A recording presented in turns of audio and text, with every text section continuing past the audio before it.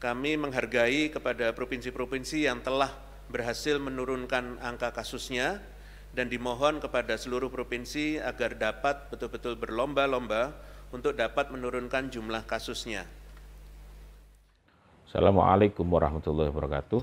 Uh, ada pertanyaan dari Mas Aditya, wartawan tribunnews.com. Pak, mohon izin tanggapan terkait pemerintah yang meminta setiap provinsi berlomba-lomba menurunkan kasus COVID-19.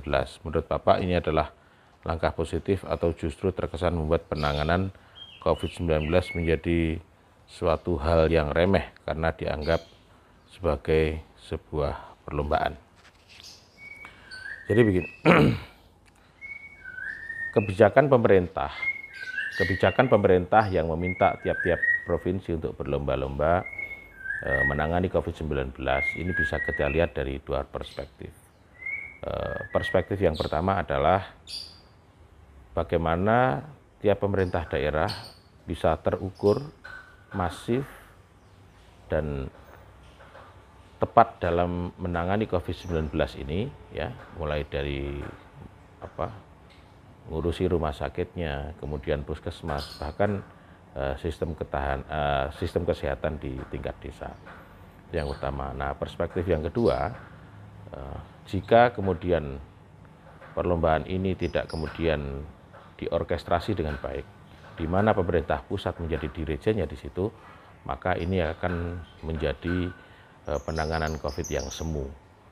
Oleh karenanya, eh, perlombaan yang dilakukan ataupun disampaikan oleh pemerintah harus dimanai bahwa ini akan menjadi percepatan ya, percepatan bagi tiap-tiap pemerintah daerah untuk Eh, menghadapi pandemi COVID-19. Kemudian berikutnya saya juga ingin menyampaikan bagaimana pemerintah daerah bisa mengeksekusi eh, anggaran-anggaran di masing-masing Pemda ya di APBD untuk kemudian dapat mendukung eh, masyarakat yang berbasis UMKM ya juga mendukung eh, temuan-temuan ataupun Eh, riset-riset terkait uh, produk herbal yang saat ini sudah diakui dunia. Oleh karenanya, keberpihakan pemerintah pusat hingga pemerintah daerah ini harus betul-betul nyata dan harus betul-betul terorkestrasi dengan baik dan terkoordinasi dengan baik.